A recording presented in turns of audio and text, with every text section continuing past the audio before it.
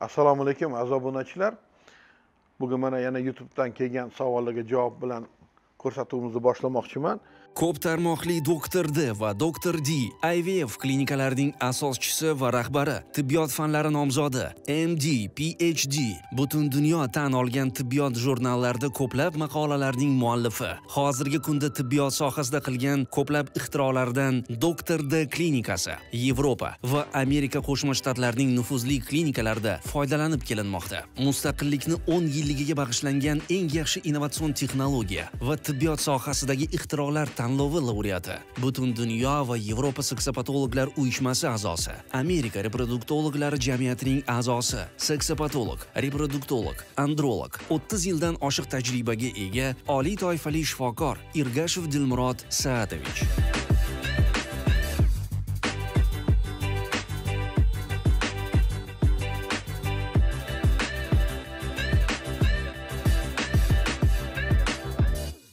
Assalomu alaykum. Dilmurod aka qon guruhining manfiyligi ayolda homilaga ta'siri qanday kechadi? Shu to'g'risida ham video qilsangiz iltimos deb yozibdilar. Bu manfiy qon guruhi ayol uchun juda muhim. Men har safar sizdan video kelganda shu mavzuni kutaman.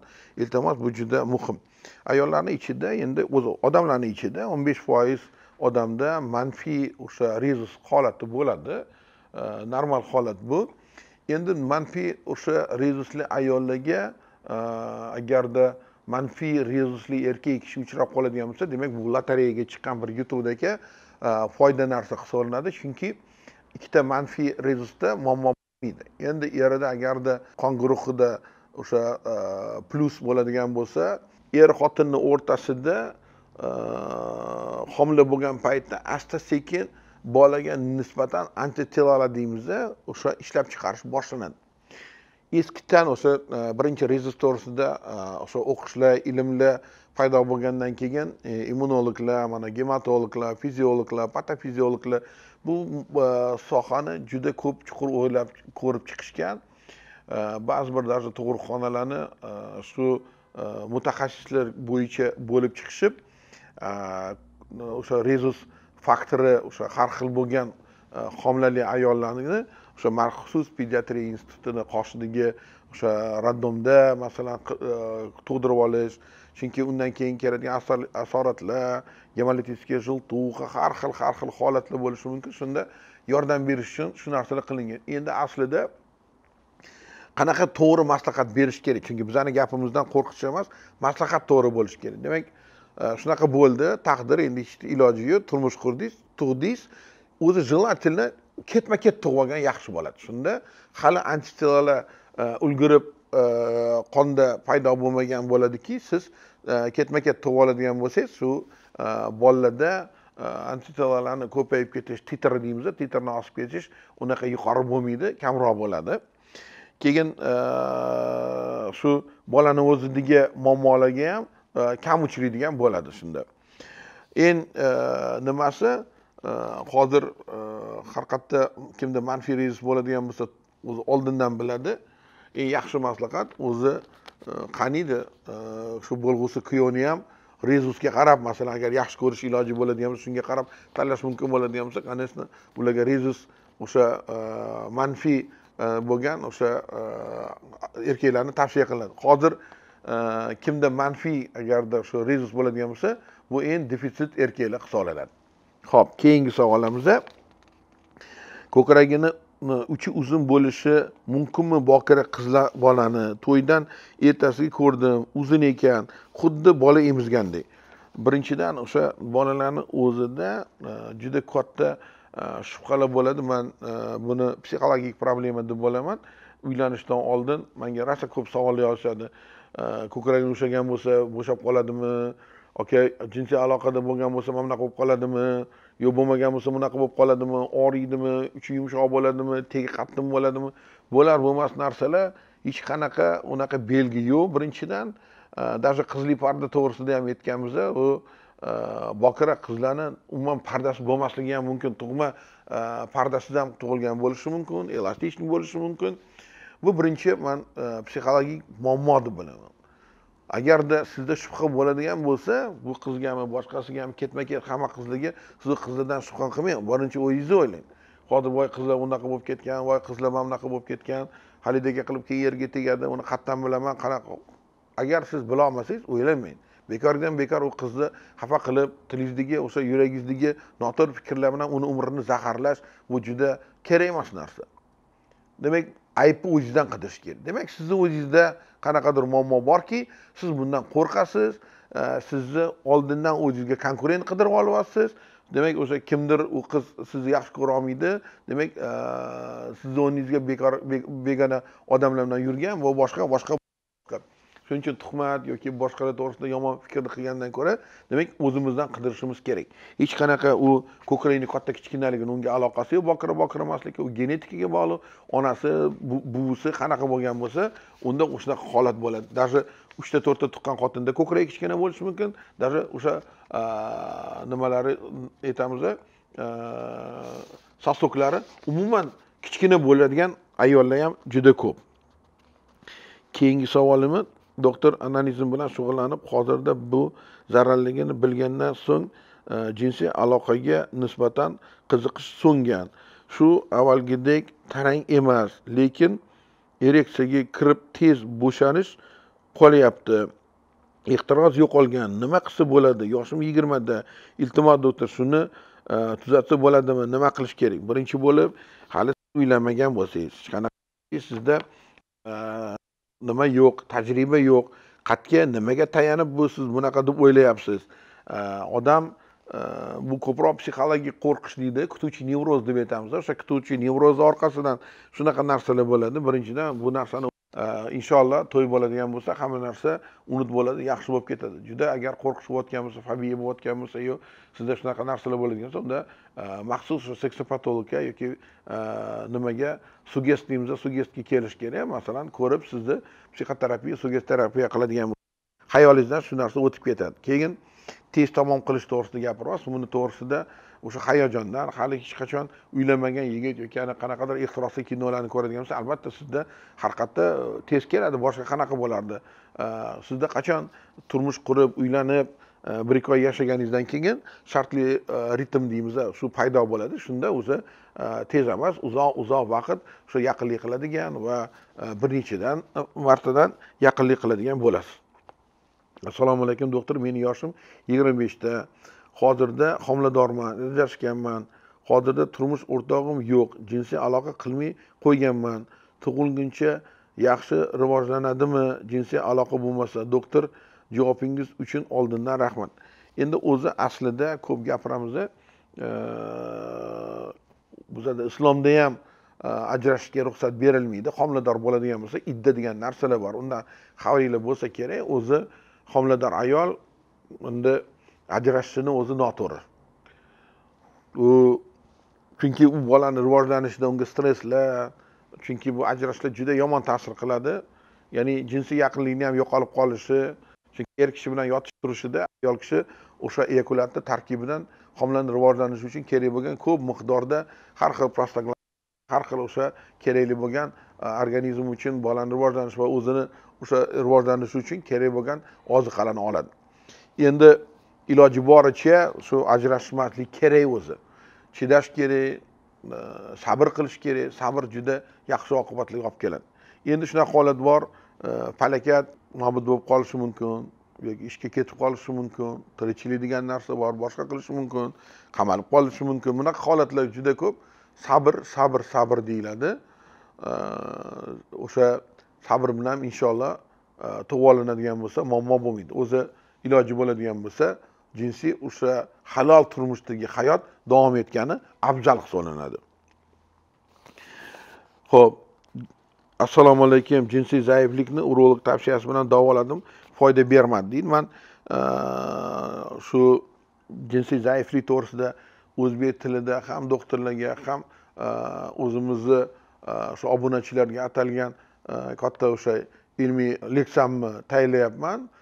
Shu kunlarda shu leksiyani qism qismga bo'lib ko'rsatib beraman. Chunki buni qanchalik chuqurroq bilsak shunchalik buni ham davolashda ham bundan e, qutulishda e, hammamizga yaxshi yordam beradi. Assalomu alaykum. Qizlik pardasi tug'ma yo'q bo'lishi mumkinmida manimcha bugun bu savolga уже javob berib o'tdim da. Tug'ma qizlik parda bo'lmasligi ham mumkin. Keyingisi bular endi telegramdan kelgan savollar. Assalomu alaykum nurmat aka. Meni uylanganimga yetti oy bo'ldi. Hali yangilik bo'lmadi. Qizli e, qizli suvlari ta'siri bormi? Fanta va kola man kuniga bitta ikkita e, fleshka ichaman. E, kola fanta ichaman. Shunga ham xavotirman. Bor shunga video tayyorlab bersangiz oldindan rahmat. Mana e, manimcha bu to'g'risida gapirgan bo'lsam shirin gazli ichimliklar to'g'risida ko'p gapirib o'tiramiz. Bu qoni ziyon.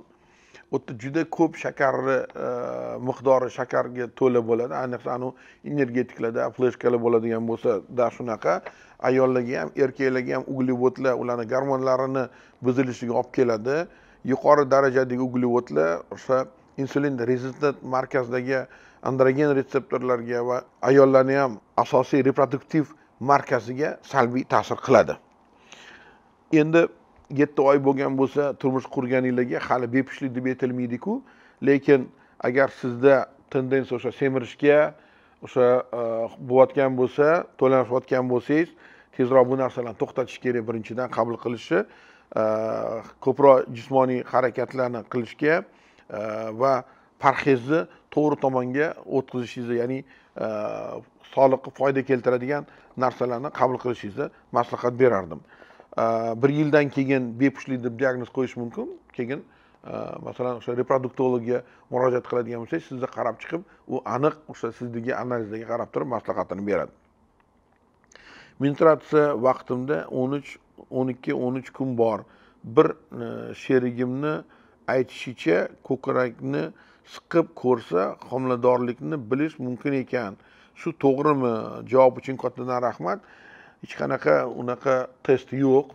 Faqat homiladorni bilish uchun to'g'ridan to'g'ri qon topshiriladi o'sha hgch deymiz unga qon topshiriladi o'shani miqdoriga qarab aytish mumkin. Yoki o'sha homiladorni biluvchi e, ekspress testlar bor. O'sha uni hamma yaxshi biladi. Aptekalarda sotiladi. Uni sidoga tushirib turib o'shalar ham e, o'sha ikkita e, chiziqcha chiqdimi yo'qmi shunga qarab turib faqat bilish mumkin. Varikatsiyali operatsiyasiz davolashni iloji bormi o'zi varikatsiyali degani hadeb ham operatsiya qilinadi emas. Agar varikatsiyali bo'lgan bo'lsa ko'p aytganmiz og'riq bo'lsa tromboz bo'layotgan bo'lsa e, shu holatlarda yoki bepushtlik bo'ladigan bo'lsa hozir zamonaviy ultra tovushlarda elastografiyalarda ko'rsatib beradi kelayotgan muammoligini varikatsiyali shundagina qilish kerak qilish kerak bo'lganda ham varikatsiyalikni faqat o'sha marmar operatsiyasi marmar operatsiyasi deganda katta mikroskop tagida doktor o'tirib uni haligi har bittasini ajratishini sortirovka qilib operatsiya qilib ligirut qilishini keyin qo'shimcha modifikatsiyalar bor anastomozlik qo'yishini o'sha marmar operatsiyasi deydi ancha murakkab narsa hamma yoqda ham qilinmaydi o'sha aldanib qolish kerak emas faqat shunaqa holda qilish kerak boshqa holatda masalan bezovtalik bo'lmasa bepushtlik bo'lmasa varikatsellikni o'zini operatsiyasini ham qilish keragi yo'q. Assalomu alaykum men moyaklarimdan vodyanka operatsiyasi bo'lgandim bu kasallik qaytalishi mumkinmi? Javob uchun oldindan rahmat. O'zida vodanka deganimizda o'sha e, tuxumni ustida yettita o'sha pardacha bor. Shu pardachalarni orasiga suv yig'iladi.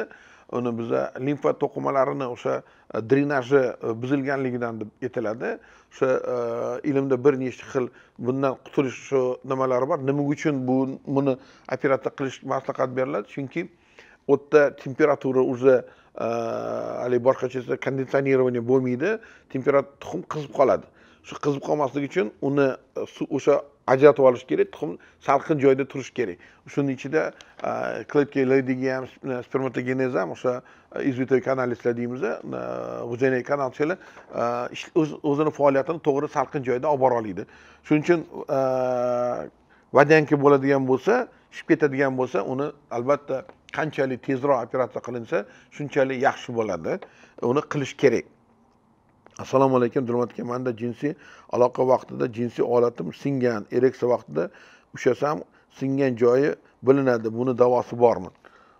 Yaqinda yana bitta ko'rib qoldim. O'sha e, doktorni tiktokda endi aytishga ham uyaladi bachkani haligi ustiga chiqib ayol kishi sakrasin undoq qilsin bundoq qilsin sindiradi pindiradi degan narsalarni gapirgan. Mani ko'p bu temalarda gapirib o'tgan o'sha temalarimni olib o'zicha o'sha interpretatsiya qilib o'sha ko'rsatuvlar qilingan man buni gapirganman o'sha narsalardan haligi savodsiz o'sha doktorlarni kommentariyalaridan nariroq bo'lish kerak o'zi mutaxassislar barmog'ini bilan sanasa bo'ladi ho'p nimani gapirmoqchiman jinsiy aloqada holatni jarohat olish mumkinligida bor uni aytib o'tganman o'sha erkak kishi tepaga qarab qattim polda qattim joyda yotganda ayol kishi tepada bo'lganda bu ko'p holat bo'ladi. Bu holat ko'pincha ayollarni o'ziga yoqadigan holat boshqalarda lekin siz agarda o'sha pastki holatda bo'ladigan bo'lsangiz e, ayol kishini harakatini kontrol qiladigan bo'lishingiz kerak. O'sha har chiqib ketib o'sha erkaklarni eng ko'p travma oladigan holati o'sha holatda sinish degan narsasi uni yonidagi oqsil pardachalarini jarohatlanishi hisoblanadi. Shundan bo'lishi mumkin. Endi bu oqsil pardachalarni jarohatlanishi ko'pincha induratsiya deymiz o'sha avtoimmun proseslarga u yerda peroniy kasalligiga o'zi deformatsiyaga olib keladi. Keyin u o'tib o'tib o'tib peroni kasalligiga o'tib ketishi mumkin. Peroni kasalligida o'zi aloqaga yaramaydigan darajada deformatsiya bo'lib qoladi. Endi agarda jinsiy aloqaga yaraydigan egilishlar shunaqa holatlar bo'ladigan bo'lsa buni hech qanaqa operatsiya qilmasdan protez qilmasdan qilish mumkin ya'ni bu yerda nima ko'proq graft degan operatsiyalarimiz bor qon tomirdan olib yamoqcha qilib operatsiya qilib tiklasa bo'ladi lekin jinsiy aloqaga yaramaydigan darajada qiyshayis bo'ladigan bo'lsa unda protezирование deymiz unda faloprotezирование qilish kerak bo'ladi uni uchta kanal e, klapanli o'sha hozir e, protezlar bor. O'shani qilsak bo'ladi. O'zbekistonda ham adashmasam hozir ko'p klinikalarda o'sha genitalniy plastika va uchta komponentli bemalol protezирование qilishyapti. Assalomu alaykum dilmurod bermoqchi bo'lgan savolim shundan iboratki inson kechroq uylansa o'ylanguncha qadar muddatda jinsiy aloqa bo'lmasa inson sog'lig'i uchun zarar yetadigan holat kuzatiladi. Shuni aytsangiz javob uchun oldindan rahmat.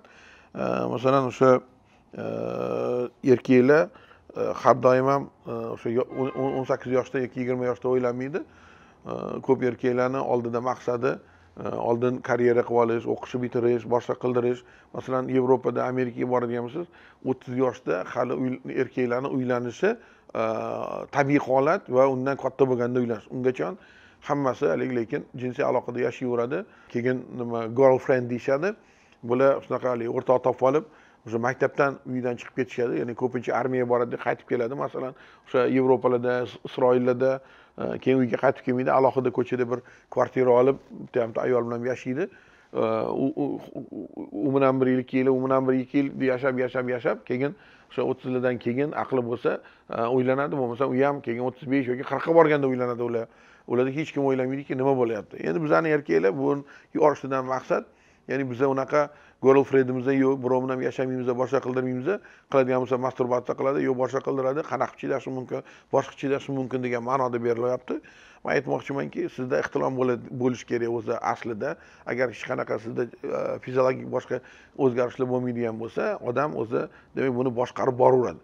O'zi unaqa kech uylanishga ham maslahat bermaymiz endi uylanadigan yaxshi davrlar yigirma to'rt yoshdan keyin masalan erkak kishi uylanadigan bo'lsa u aqlan ham ham e, jismoniy ham hamma tomondan yetuk hisoblanadi o'sha e, yigirma to'rtdan o'ttiz yoshgacha endi uylangan yaxshi. Agarda hozir bizada o'ttiz yoshdan e, kattaroq boladan agar sovchi keladigan bo'lsa shu paytgacha nima uylanmagan ekan? Buni bu yerda kamchiligi bor ekanmikin? Yo anavi orientatsiyasi buzilganmikin? degan har xil narsalar olib keladi. Manda ham haligi ba'zida o'rtoqlarim murojaat qilib qolishadi. Mana bunaqa joydan sovchi kelyapti aka bir kuyovni ko'rib bering. Orientatsiyasi yaxshimikan anaqasi yaxshi? A nima ekan? Shu paytgacha uylanmagan ekan. Endi mana kelibdi chet tilda o'qigan ekan. Anaqa ekan mana bunaqa ekan. O'zi yaxshiyu lekin mana shunaqa shubha chaqiriladi. Ziyon yo'q. Xavotir bo'lish kerak emas. Birinchi bo'lib momentda bo'ladi. Siz agar xavotir oladigan bo'lsangiz shu xavotirlikdan sizga muammo bo'lishi mumkin. Juda qattiq agar shunaqa sizda qo'rqish bo'ladigan bo'lsa albatta unda kelish kerak mutaxassis oldiga. Ko'ramiz biza sizga o'sha sugest yoki psixoterapiya yoki ba'zida gipnoterapiya orqali seksopatologni o'zi to'qson foiz bemorga albatta o'sha e, direkt bilan verbalniy direkt bilan yordam beradi. Qolgan hamma dorilarimizda darmonlarimizda bu o'n foiz nimani oladi? Shuning uchun mutaxassis mutaxassis buni urolog emas o'sha seksopatologga kerak u bilan birga hal qilish kerak. Mana shu bilan e, bugungi ko'rsatuvimizni e, tugallatamiz e'tiboringiz uchun rahmat. Yana ko'rishguncha xayr. Salomat bo'linglar.